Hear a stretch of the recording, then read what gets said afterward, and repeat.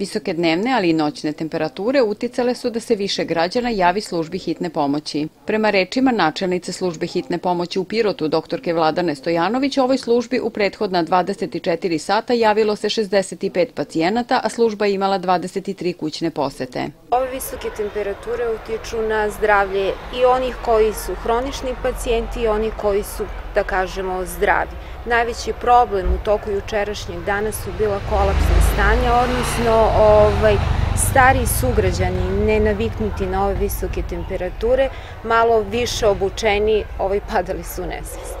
Promene vremena utiču ne samo na hronične bolesnike, već i na zdrave osobe. Uglavnom, kao i svi, pokušavam da se raskladim, pijem što više tečnosti, izbegavam sunce ovaj, u tom kritičnom periodu, e, radi klima. Onako kao star čovek, ali se pripazim. Pripazim se malo u hladovinu, malo se raskladim i tako. Strašno.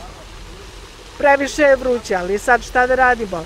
Sve je to u vremenu. Toplo vreme može da prouzrukuje pogoršanje tegoba kod hroničnih bolesnika, pa se njima savetuje poseban oprez uz poštovanje saveta izabranog lekara. Dr. Stojanović dodaje da svi treba da poštuju osnovne mere opreza kada su vrućine u pitanju i da izbegavaju izlazak u najtoplije doba dana. Pre svega slojevito oblačenje jer ako je ujutru hladno, ovaj, već negde oko 10 su temperature kada je potrebno da se raskomotimo, flašica vode, šešir, naočare za sunce i neizlaženje u periodu od 10 do 17 časa. Saveti lekara su i dovoljan unos tečnosti. Preporučene količine su 1,5 do 2 litra dnevno najviše vode. Preporučuje se izbegavanje alkohola i fizičkog napora. Ishrana treba da bude lagana bez suvišnih masnoća uz dosta svežeg voća i povrća.